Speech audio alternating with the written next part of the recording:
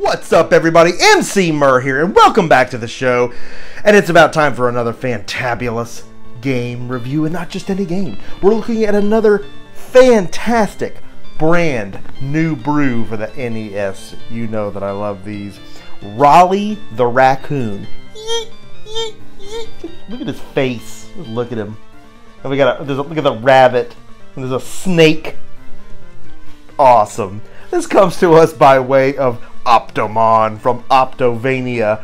And uh, dude had his head on straight when he put this together. I'm just going to go ahead and tell you flat out, this is really neat stuff. You know I love these things. We really want to take an in-depth look at what we've got going on here. This is a neat game for a number of reasons. Yes, it's a platformer, but let me tell you something right now. If you think this is a run-of-the-mill platformer, you best check that at the door because it's going down for real in Rollie's world. This is going to get serious. And by that I mean serious feeling, serious nostalgia, even though it's something you've never played before. This game is built and designed, the art style, it takes me right into 1987. It is like a mid to late 80s platformer. It looks it, it feels it. I wouldn't know that it wasn't made then. It's got all those qualities and more, though. There's some depth to Rollie. There's some depth there. There's some things this raccoon can do. He's capable, and we're going to look at all that today. So here we go. Rollie the Raccoon. Yes, it's a platformer, but Rollie doesn't just jump up and down.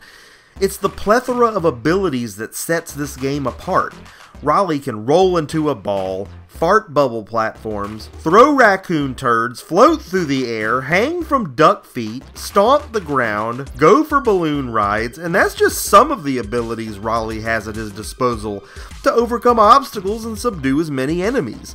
Rollie makes his way through articulately designed stages, which, when done with combinations of his different abilities, makes for multiple opportunities to speedrun each one.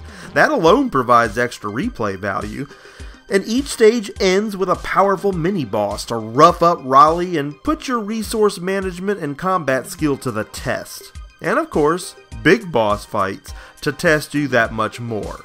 The variety of items really rounds out the fun in these fights, allowing you to customize your strategies. The environments change not only visually, but physically, adding new dimensions to the difficulty and placing even more importance on Rollie's bag of tricks and management of said resources. Stages contain halfway points to respawn from, and the game features a simplistic and convenient password save, which basically acts as a level select. I like it because it allows you to work your way through the game in multiple sittings, and it does so with only a four number passcode. And again, for you speedrunning perfectionists out there, you have a way to come back again and again and focus on your optimization of specific levels. The difficulty overall does a decent job of scaling, and while you feel it getting tougher as you go, none of the stages are complete pushovers. There's always a rewarding sense of accomplishment. I gotta say, this game was well made, and I am definitely digging it. That's it, man. Rollie the Raccoon. That's what's up. And I got, you know, I'm a sucker for the see through, different color you know, NES cartridge cases. Uh, those are so exciting to me for whatever reason. Fun to collect. They look so great on the shelf. By now, I hope I've shown you more than enough reasons to want to get behind this thing and get a copy of this for your very own. And how can you do that?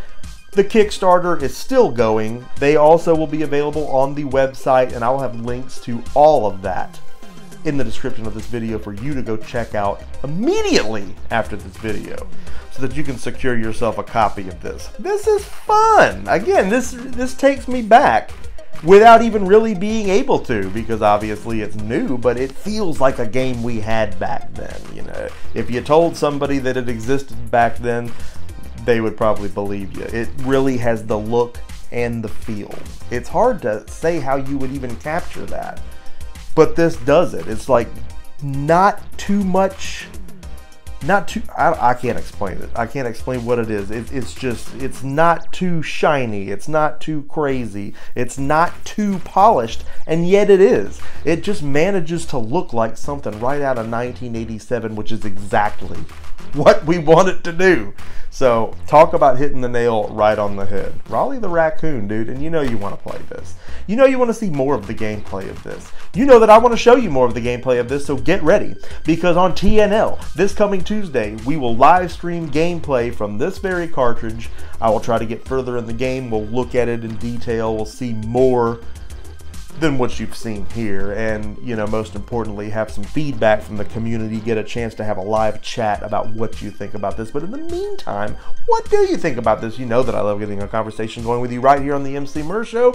So, you know that I hope you're going to drop something in the comment section for me so that we can get that conversation going right here on the Emceemur Show. And I hope that you liked this video. Hope you like the look of this game. Hope you're going to drop a like on this video. And if you have not already done so, I hope that you're going to subscribe to the Emceemur Show. Be a part of Mer Nation. We're rising up all the fantastic things that we do right here on the show. You need to be a part of it. Make sure that you smack that notification bell so you are always the first to know when new content goes live because you know that I love making it for you. All kind of fantastic stuff coming your way. Make sure you're ready for that live stream come Tuesday.